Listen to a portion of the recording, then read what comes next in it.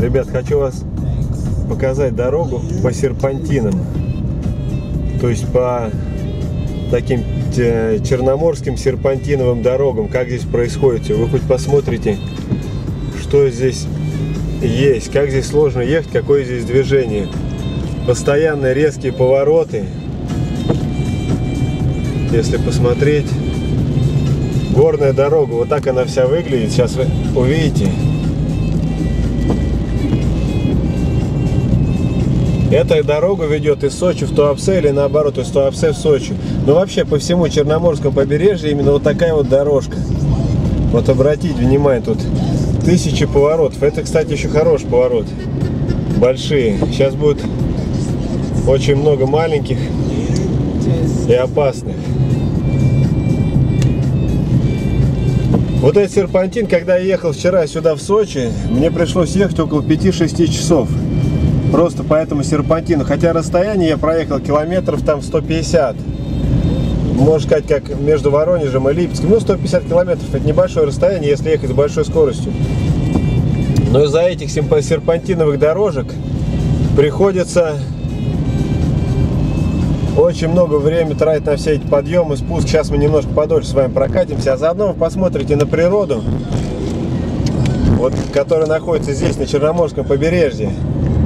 Сочи, побережье Сочи. Еще мы сейчас ездим между Сочи и Лазаревским сейчас. Но нового будет много городов всяких таких небольших будем проезжать. И вот вы посмотрите дорожку вместе со мной. Здесь чуть-чуть я разогнался. Вот спуск, конечно, хорошая вещь. На подъеме посложнее.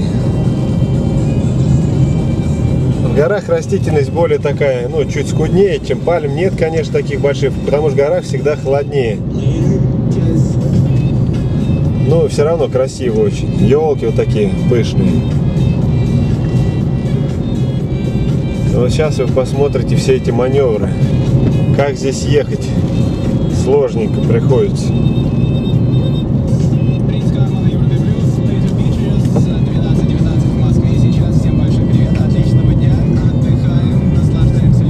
Везде уклоны, горки.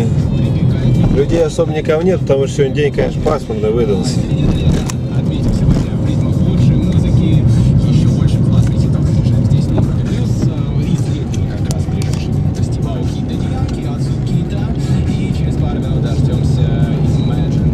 Такие вот, смотрите, изгибы везде. Повороты у нас такие мощно. Ну, а море не видно. Видите, мы хотя едем вдоль моря, на самом деле с левой стороны от нас море идет. Вот там за деревьями, если вот прямо сейчас посмотреть, там вот за деревьями где-то вон там чуть-чуть видно синенькое было. Это море, но мы из машины его не видим, самого моря. А может сейчас выйдем на кусочек моря посмотрим, может быть сейчас выезд будет, не знаю, где мы там точно находимся какому-то городу подъезжаем, городу подъезжаем, какую-то небольшую пробочку становимся. Или очень большую. Кстати, это может быть начало очень большой пробки. Вон море видно, смотрите, ребят, сейчас я приближу. Вон оно море. Видите, как его... Все, встал я в пробку, а пробка это бешеная. Вчера, когда ехал с утра, видел эту пробку, она просто огромная. Люди вот ходят здесь.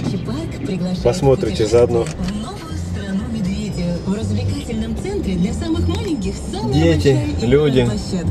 Хотя, может, проедем, что-то движение какое-то пошло небольшое. Для малышей и семейный ресторан «Сытый Мишка». Для гостей отеля «Богатырь» вход в Медведю свободный. Подробности на сайте sochipark.ru и по телефону 8 800 133 39. Туристы ходят, маленький городиш какой-то.